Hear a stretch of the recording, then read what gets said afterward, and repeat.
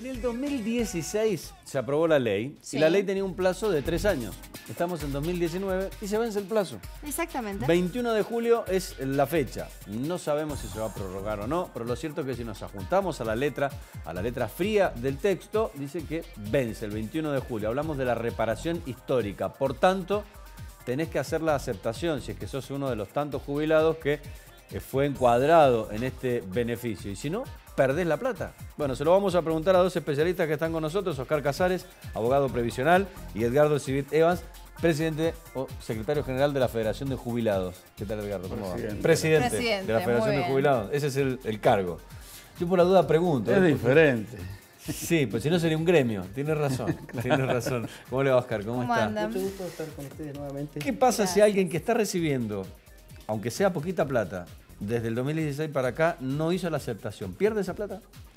Y por supuesto, si no ha hecho la, la aceptación, o sea, tiene que pronunciarse en forma expresa si la quiere seguir eh, percibiendo. Este, y si no, se, se la va a perder. Por supuesto, no puede eh, seguir en, en el estado de eh, así de, de no pronunciarse. De indefinición. de indefinición, porque corre el riesgo de perderla. Tiene que pronunciarse a favor de, eh, de aceptarla o de rechazarla. Una manera de rechazarla sería guardar silencio, o también rechazarla en forma expresa, o aceptarla en forma expresa si es que no la quiere perder. O sea, guardar silencio significa la no aceptación. Exactamente, por supuesto. Ahora, te- teníamos los casos. Aquellos que habían hecho juicio y tenían sentencia a favor, tenían que hacer una aceptación judicial para recibir la reparación histórica y desistir de esa, del ejercicio de esa condena a favor. ¿O no? Bueno, las personas que, que vienen haciendo juicio y han recibido propuestas de reparación histórica, lo que deben hacer es aceptar la reparación histórica o si no, guardar silencio o rechazarla y seguir en ese caso con, con el juicio. Esas son las alternativas. Claro, Para digo, aceptar la reparación sí. histórica se requería una- un acto de aceptación expresa. En esos Sí, casos. Exactamente. Si no quiere decir que sigue con el juicio, ya sea que guarde silencio o que la rechace en forma expresa. Por eso, aquellos que estaban en juicio, que ya habían iniciado el juicio o que estaban en condiciones, para poder recibirlo tenían que aceptar y desistir de esa acción judicial. Por supuesto, tenían que aceptarla y, y desistir, porque va de- implícitamente el aceptar la reparación histórica implica eh, desistir de las acciones judiciales. O sea, que esos ya estarían de algún modo cubiertos porque ya aceptaron. Por ¿O supuesto, no? claro, el que ya se pronunció aceptando la reparación histórica, Sí. bueno, ahora está en el procedimiento propio de la reparación histórica, que tiene a la vez sus etapas, para recibir la reparación histórica y ya ha desistido de la acción judicial. Pero está en este otro grupo, Edgardo, el que desde la misma Federación de Jubilados les iban avisando, ya mirá, vos no iniciaste juicio, pero por lo que calculamos te tocan dos mil pesos, dos quinientos, hasta cinco mil o diez mil pesos en algunos Sí, casos. montos que no eran los que se esperaban. Bueno, la reparación histórica es muy especial, lo comentábamos recién con el doctor Casares, porque hay gente que lo ha beneficiado mucho. No es un elevado porcentaje, pero que sí la ha beneficiado mucho. Por ejemplo, ex trabajadores de IPF, de gas del Estado y de diversas empresas que han hecho aportes y que les fueron mal eh, realizada la primera liquidación. Y como consecuencia de eso, la reparación histórica le ha ido actualizando y han cobrado montos importantes. Después vienen las que nosotros llamamos las, las reparaciones históricas medias, que van de mil a seis mil, siete mil, ocho mil pesos. Y después vienen las que llamamos jubilaciones eh, o reparaciones basura, que son las que eh, van de 100 pesos, hemos visto algunas de 60 100 y pesos. algo, y hasta los mil pesos. Eso es evidentemente, ahí se plantean las situaciones personales. Yo diría que cada caso es totalmente diferente a otro, porque no es lo mismo una persona que tiene 90, 92 años, que no se le puede recomendar eh, de que inicie un juicio porque lo más probable es que no lo termine antes fallezca. Se termina su vida antes de que termine el juicio. Claro, diferente a la situación de quien tiene 65, 68, 70 años, que tiene toda la posibilidad de seguir el juicio. Eh, es más, les comento en lo personal, yo he seguido el juicio este, y lo seguiré hasta las últimas consecuencias. Este, creo que algún día se producirá la sentencia. Pero lo concreto es que cada situación depende de la edad, depende de, de dónde trabajaba, de cuánto aportó, de cómo hizo los aportes, cómo se le hicieron las primeras liquidaciones. Es decir, es lo que se denomina el análisis de la sábana que tiene cada eh, persona que se ha jubilado dentro del ANSES. Y bueno, y de ahí viene la posibilidad o no del reclamo, este, tanto administrativo como judicial, según el caso y la edad de, cada uno de los este, beneficiarios. De cada uno de los jubilados. Ahora, lo que sí decimos, perdón, lo que sí decimos es que si realmente vence el 21 de julio, porque ha, habido algunas prórrogas, este, la gente algo tiene que expresar, o a favor o en contra, porque si no va a perder, como muy bien decía el doctor, va a perder lo que está percibiendo, sea mucho o poco, y además de eso le pueden llegar a quitar todo aquello que ya ha percibido, es decir, se lo pueden llegar a descontar. Entonces, claro, porque se entiende que si no lo quiere, es no lo quiso. La recomendación es exprese su voluntad, a favor o en contra, pero, pero exprésela.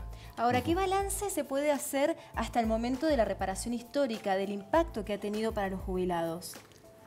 Bueno, yo creo, eh, participo de la idea del doctor Civita Evans en cuanto a que es fundamental, fundamental analizar cada caso concreto.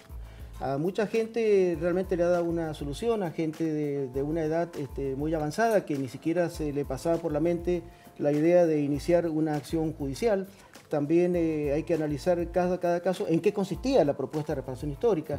En algunas la propuesta era razonable, entonces les era conveniente. En otros casos la propuesta era muy burda, entonces directamente no les convenía aceptarla, por más que no hubieran hecho juicio o que tuvieran un juicio recién iniciado o en cualquier instancia. Eh, las personas que están con un proceso judicial, eh, también con más razón es fundamental ver cuál es el estado del proceso. Una persona que tiene una acción judicial en los inicios, en la, primera instancia de la justicia federal es muy distinto que la persona que ya está por obtener una sentencia de la Cámara Federal de Mendoza y ya más cerca del final que del comienzo. ¿En qué consiste la propuesta? También como señala el doctor, eh, cuál es el desajuste que tiene en su jubilación.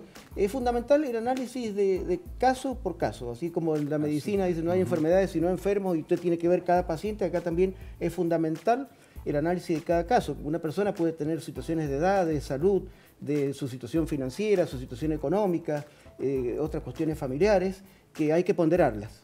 Y en cada caso hay que hacer eh, un, análisis como corresponde y tomar la, mejor decisión. Entonces, en términos generales, bueno, uno puede decir, a mucha gente le ha dado realmente una satisfacción, en otros casos no. Eh, en lo personal, como abogado previsionalista, nunca estuve de acuerdo con el tema de que un poco se, se bastardeara al derecho previsional en el sentido de, soslayar la importancia de un jubilado de que, vaya por sus derechos, de que inicie un reajuste de haberes, eso nunca puede dejarse de lado por una ley de negociación.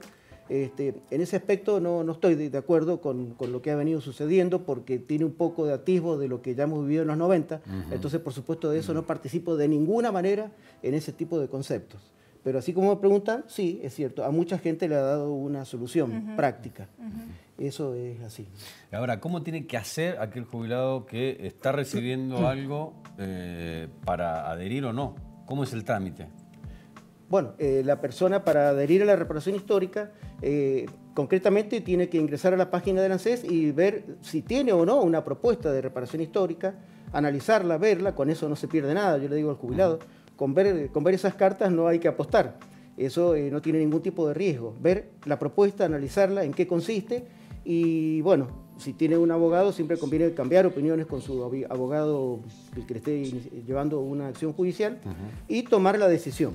Si la persona quiere tomar la decisión de aceptar la reparación histórica una vez que se haya hecho, se haya hecho asesorar como corresponde, o por ANSES o por, por el centro de jubilados que preside el doctor Steve Evan o en un estudio particular, este, si decide encarar la reparación histórica, hay un procedimiento administrativo, tiene que aceptar en la pantalla de, de ANSES, que ahí estoy viendo una imagen de una pantalla, tiene que aceptarla en esa pantalla del ANSES.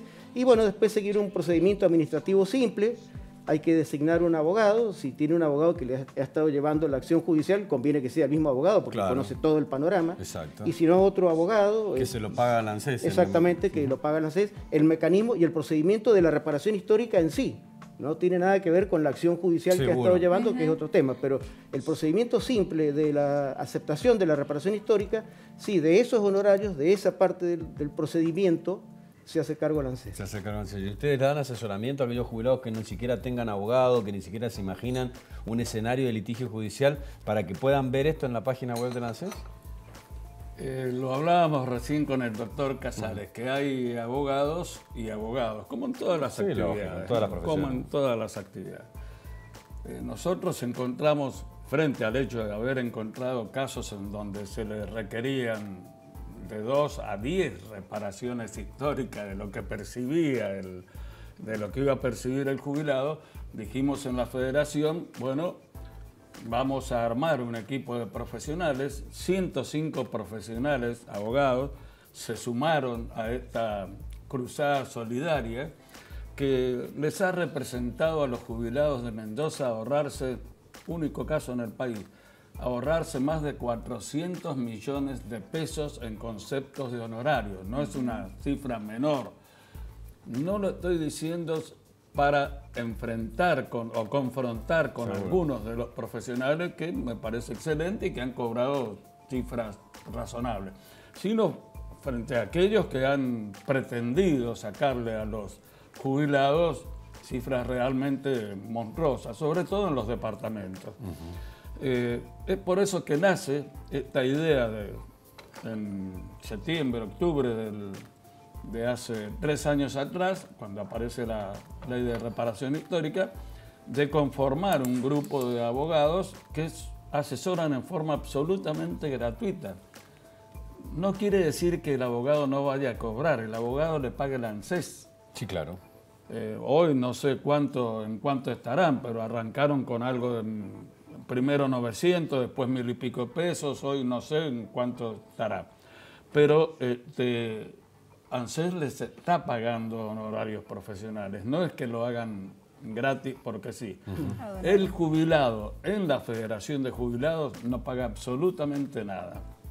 Correcto. Es por eso que decimos que el trámite es absolutamente gratuito, lo que no pretende de ninguna manera quitar el derecho de los abogados previsionalistas de percibir un monto. Seguro. Pero un monto razonable. Sí, o aquel jubilado quiere seguir con el litigio judicial, si quiere hacer el juicio, por supuesto el abogado le va a cobrar los honorarios correspondientes. Si alguien va a recibir una reparación histórica de las que llamamos basura, de 500 pesos, no puede ser que le cobren 5 mil o 10 mil de honorario.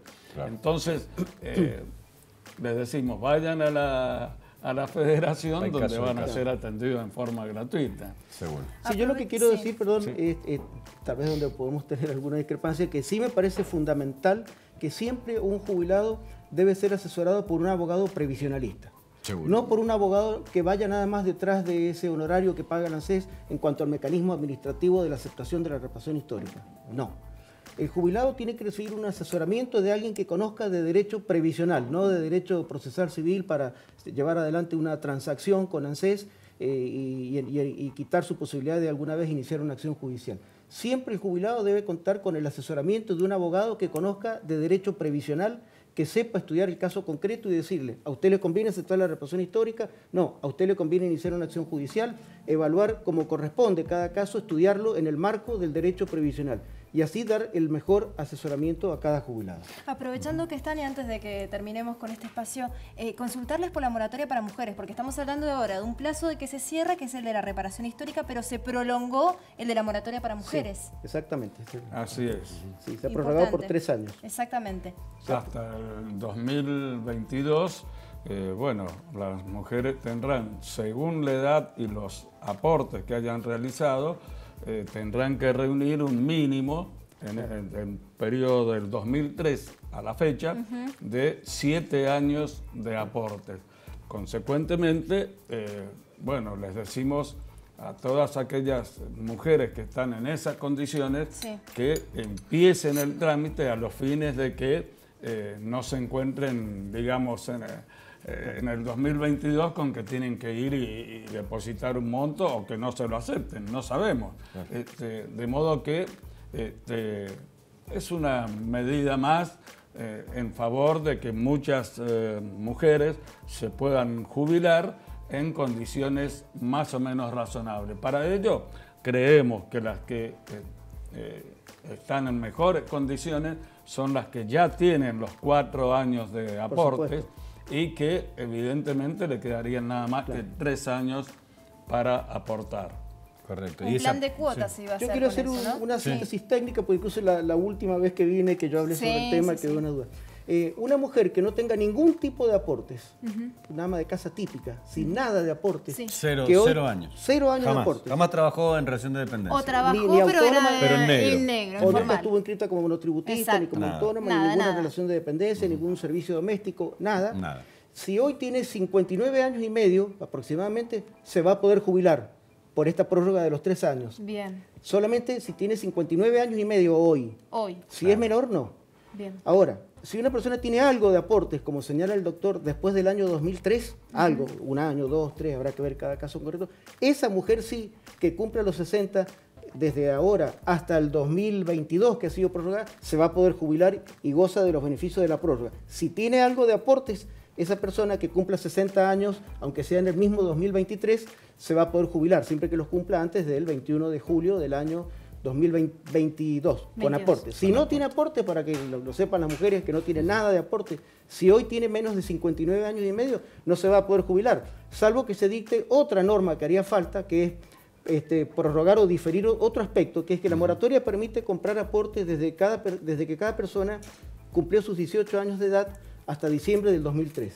Eso de que se pueda adquirir nada más que hasta diciembre del 2003, se necesitaría una extensión para que entonces las mujeres sin aportes menores de 59 años y medio puedan jubilarse antes del año 2022. Se necesitaría modificar ese aspecto técnico que es eh, también eh, tendría mucha implicancia en el ámbito previsional y financiero de lo que implicaría de otorgar beneficios si se modificara ese aspecto. Pero eso no se lo modificó. No. Se modificó nada más que el tema de la vigencia de la moratoria eh, de, de la- de este plan de facilidad de pago. Entonces, por eso digo que el- ese, ese es el caso de las mujeres. 59 años y medio por lo menos de edad, este, sí se va a poder jubilar. Tiene que hacer un plancito, tiene que tener un asesoramiento inmediato, porque tal vez tenga que empezar a aportar de ahora en adelante, pero se va a poder jubilar antes del 2022, que es lo más importante. Seguro. Si tiene menos de 59 años y medio sin aportes, como está hoy la cosa, no puede jubilarse. Ahora, si una mujer tiene aportes, está por cumplir los 60 desde ahora hasta julio del 2022, con aportes, porque tuvo 3, 4 años, ah, esa, esa persona se va a poder jubilar y hay que hacer el estudio concreto, por supuesto, de, De su cuánto situación. tiene que- Exacto. Hay otro aspecto. Los que las mujeres que tienen más de 60, por ejemplo 62, 65 años, este, con aportes, van a tener que abonar mucho menos, porque se le consideran los años que superen los 60 años a los fines de disminuirle lo que tienen que aportar Como al moratoria. ANSES. Lo que le decimos el 2 por 1. Eh, exactamente. La mitad del exceso de edad es- vale como- Es muy importante esto también para muchas mujeres este, que tienen aporte y más de 60 años. Eh, es decir, no estamos totalmente de acuerdo. Sí con la prórroga, como decía el doctor, creemos que debió haberse eh, Se podría haber ampliado un poco más. Podría ser mejor. Exactamente. Sí. Para que pudieran entrar una mayor cantidad de, De mujeres. de no, mujeres. no obstante ello, sigue estando en vigencia la PUAM, la pensión Por universal supuesto, para adulto mayor. A los 65 años de edad, Si toda no persona que ningún no aporte. tenga aporte con requisitos de residencia, y los pequeños este, exigencias de la ley, sí Puede obtener la pensión universal para el adulto mayor, que es un beneficio de tipo graciable y que consiste en el 80% de la jubilación mínima. Pero para mucha gente, por supuesto, entre no obtener ningún beneficio No y obtener nada, esto, Claro. es mucho más que nada. Claro, Exactamente. exacto, son Obvio. Muchísimas gracias, Oscar, Muchas muy gracias. amable. Gracias. Gracias, Edgar.